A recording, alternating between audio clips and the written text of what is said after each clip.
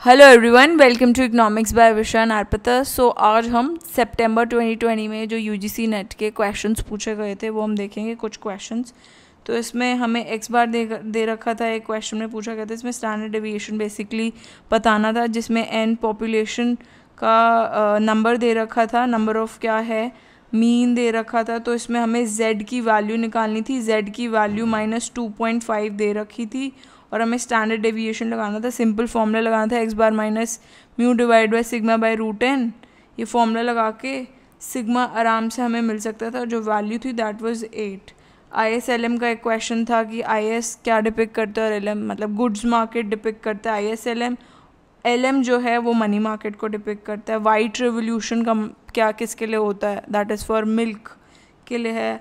IMF का function पूछे गए थे, चार फ़ंक्शन दे रखे थे, उसमें पूछ रखा था कौन सा नहीं है।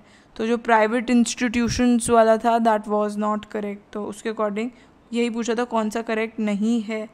तो ये उसका आंसर था। Schumpeter Harrod Domar model Solow model Rostow Rostow ये सबके ईयर्स पूछ रखे थे that we had to match the following था।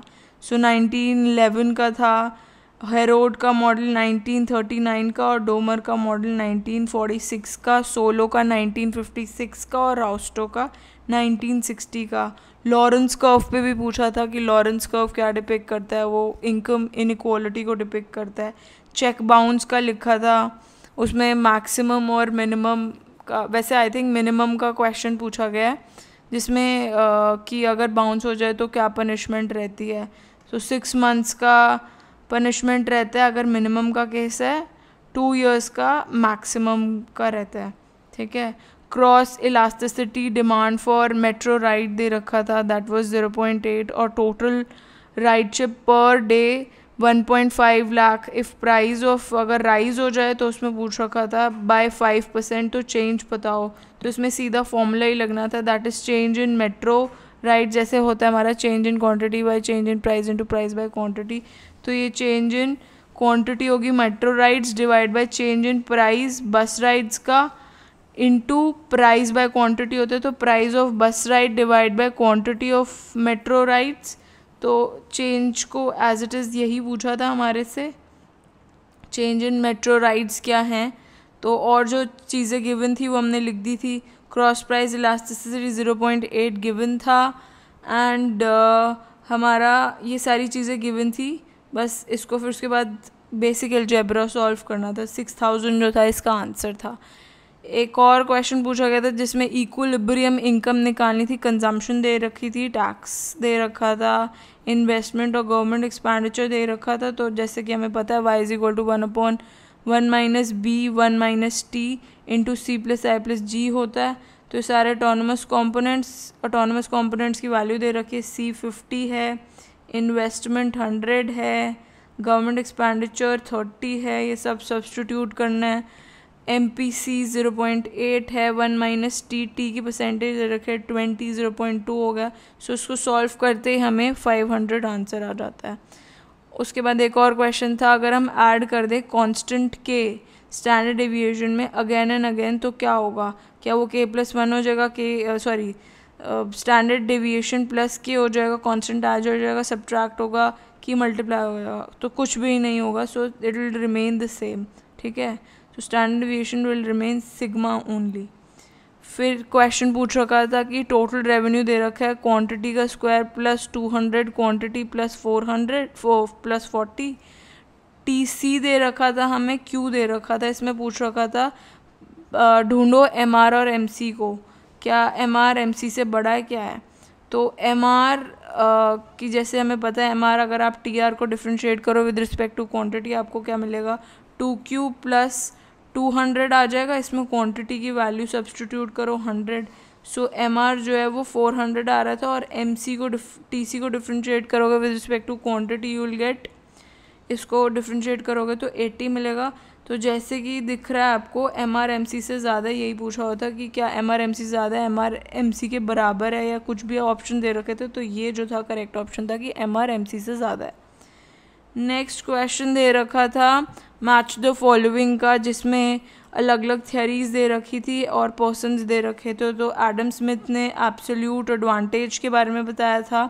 डेविड रिगार्डो ने कंपैरेटिव एडवांटेज और ओलिन ने फैक्टर इंडोमेंट दिया था एंड हैम्बलर ने हमें अपॉर्चुनिटी कॉस्ट के बारे में दिया था। तो ये तो previous year sort of repetitive question था। अगर आप एक दो भी जानते हैं तो आराम से आप मार्क कर सकते हैं।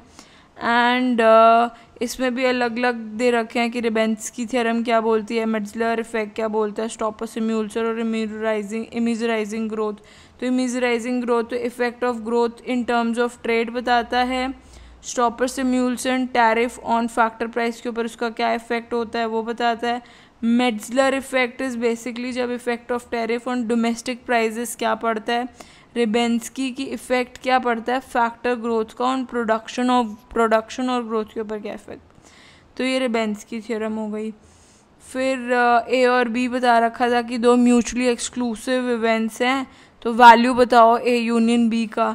तो जब वो इंडिपेंडेंट हैं तो probability of A plus probability of B जो था that was a correct answer फिर बैंकिंग कैश ट्रांजैक्शन टैक्स जो था, वो कब इंट्रोड्यूस हुआ था? It was introduce in 2005 so so ये जो था, इसका करेक्ट ऑप्शन था. नेक्स्ट पूछ रखा था लेबर फोर्स पार्टिसिपेशन जो रेट है, वो क्या होता है? तो labour force divide by total working age population के बराबर होता है. ये फॉर्मूला बताना था हमें बेसिकली वर्किंग एज पॉपुलेशन का मतलब पता ही आपको 15 से 64 का जब एज होता है तो हम उसे वर्किंग एज पॉपुलेशन बोलते हैं। और फिर पूछ रखा है कि कौन सी कम्युनिटी जो है, कौन सी कमेटी ने रेकमेंड करा था for the farmers doubling income तो वो अशोक दलवाए कमेटी ने रेकमेंड करा था। फिर इसमें बैकलर्स डेमोग्राफिक ट्रांजिशन पूछ रखा था, उसका थर्ड स्टेज में क्या होता है? तो उस टाइम पे हमारा जो बर्थ रेट होता है, वो डिक्लाइन हो रहा था which is accompanied by death rate जो कि उससे ज़्यादा तेज़ी से डिक्लाइन हो रहा होता है। सो so ये था। बाकी जीडीपी कैलकुलेट किस पे होता है? क्या वो करंट प्राइस पे कैलकुलेट होता है? कौन सा जीडीपी करंट प्राइस पे कैलकुलेट होता है? क्या वो नॉमिनल होता है या जी रियल जीडीपी होता है? तो इसका सही आंसर था नॉमिनल जीडीपी ठीक है, बाकी और जो क्वेश्चन आएँगे उसकी मैं वीडियो बनाती रहूँगी. स्टेट यून for that as well also I S की भी काफ़ी वीडियोज़ अपलोड हो रही हैं. स्टेट यून फॉर दैट ऑल्सो अपलोड होती जा रही हैं. क्वेश्चन पूछो if you have any question ठीक है? और इन सब चीज़ों का पीडीएफ लेने के लिए I have a channel on Telegram it's with the same name economics by Arpita वहाँ से जाके आप इन चीज़ों को एक्सेस कर सकते हैं. Thanks for watching bye